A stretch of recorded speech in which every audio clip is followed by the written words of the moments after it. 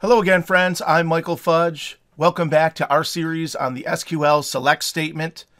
This is the third video in our series. In this video, we will explore the case statement for creating columns based on multiple Boolean expressions. You're welcome to follow along with what I'm doing here uh, using the Learn Databases environment. If you follow the link there to applieddb.com, you can get details on how to set it up. Okay, let's get started. Once again, for this example, we will be using the TinyU database and specifically the students table. So let's take a look at the students table and get our motivation. So this is a list of students and their GPAs, and one of the things that you might need to do with this list is come up with a set of criteria based on their GPA. For example, students that make that their GPA is higher than 3.6. I'll just kind of write this down.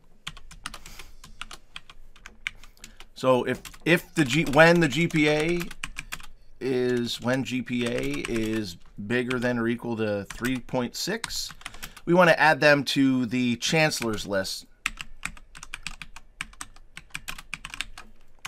When uh, the GPA is bigger than or equal to 3.2, we want to add them to the dean's list. And when the GPA is lower than 2, we want to add them to the academic warning list. And for everybody else, unfortunately, you're just not on a list. Okay? What I want to do is make a column here and that column will say Dean's List, Chancellor's List, or Academic Warning List over here. I want to add a column to the output.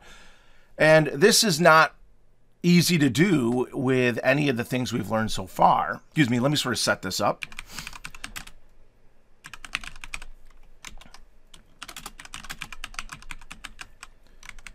And let's just put down their names.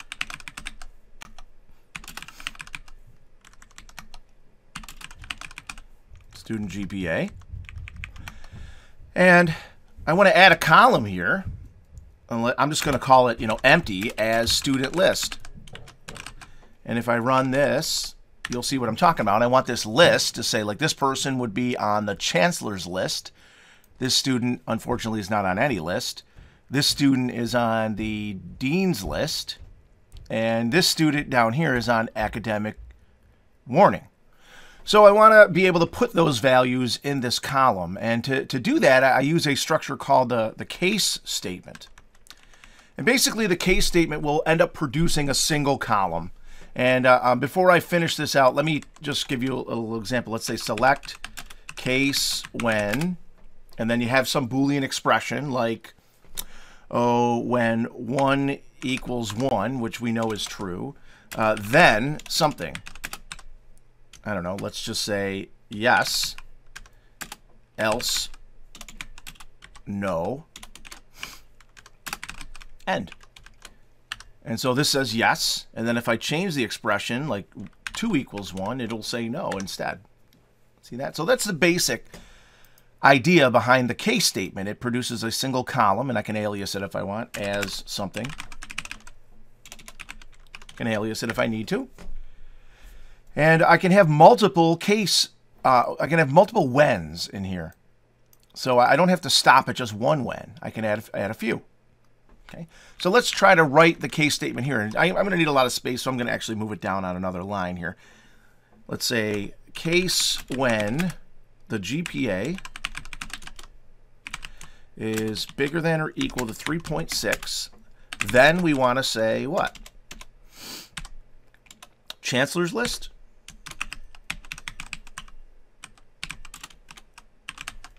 Oh, that's an interesting thing. What, how, what do I do about the fact that I want an apostrophe in there? Well,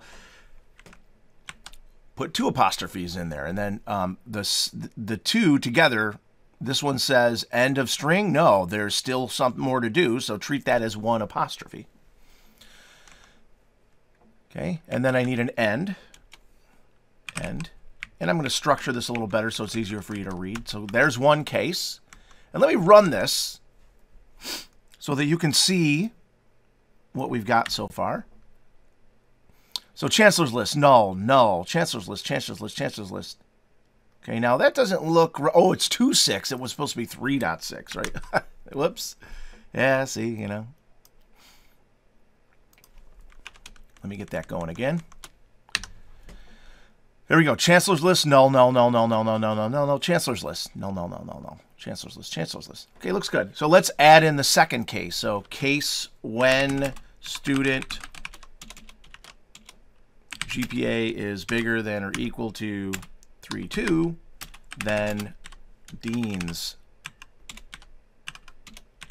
list.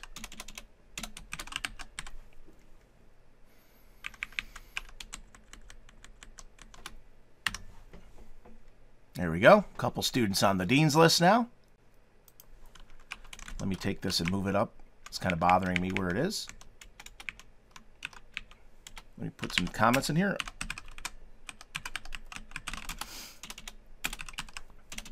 There we go. All right, let's add our last case. When student... By the way, you don't have to always test the same column. I could do something like when student first name like... Oh, I don't know. Let's... If it begins with an L, right? Like L percent. Let's put them on, then let's add them to the name is L list.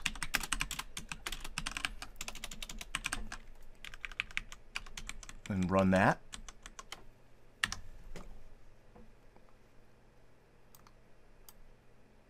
And you'll see that there's a name is L list.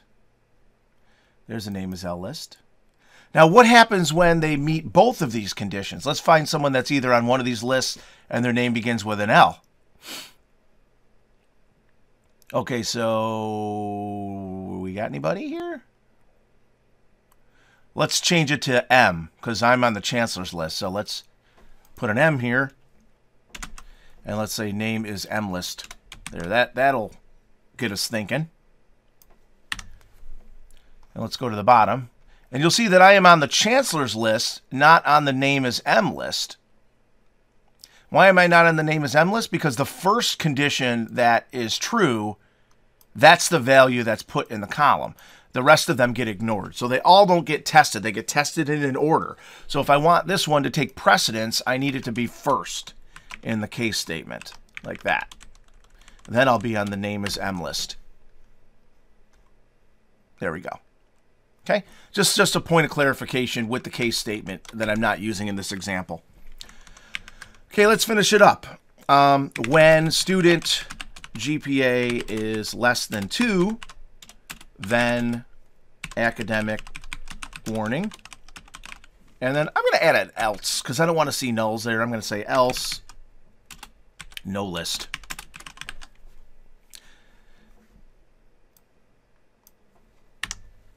Okay, so we have Chancellor's list, no list, no list, no list, Dean's list, Dean's list, no list, no list, academic warning. Okay, so basically that's how the case statement works. And you can use the case statement in a, in a variety of ways. It's always sort of the same. This is a Boolean expression, and it doesn't have to be a simple uh, relational operator. It could be a relational operator and logical operators. You could say when the GPA is bigger than 3.6 and student major ID is a 1, then you could say business school chancellor's list. You could you can have all sorts of interesting logic here with the case statement, advanced logic with the case statement. What what is true is that what comes after the then needs to be um, an expression. Okay, so it could be a column too for example, let's do another let's do another example that where I might show it as a column. So let's have a scenario where if your GPA is under 2, I just I don't want to show it. Okay? Because I, I don't want to hurt anyone's feelings. So if your if your GPA, let's say if your GPA is under a 3.0, um, I don't want to show it because I, I don't want to, you know, upset anyone. So I could do something like this. Let me take part of what I started so you don't have to watch me type most of it.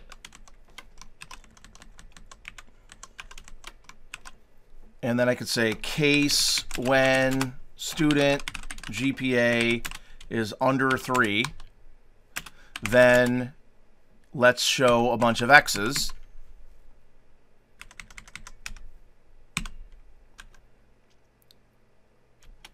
Else show student GPA. And then let's end that and call this masked GPA. And then let's not show the original GPA because we don't want that to be seen. And then this is going to be from students, right? Okay.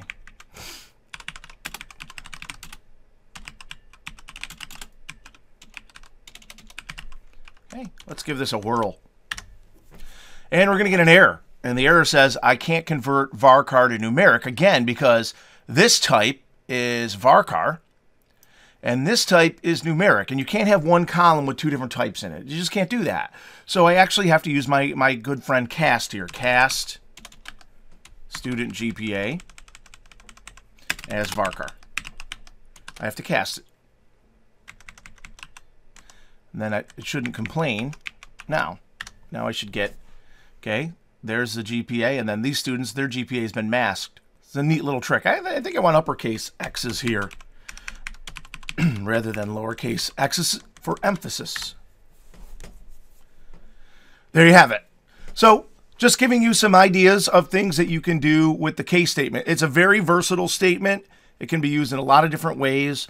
Generally, what I use it for is to apply a series of conditions so that I can choose which value to put in columns in a, in a single column based on that condition.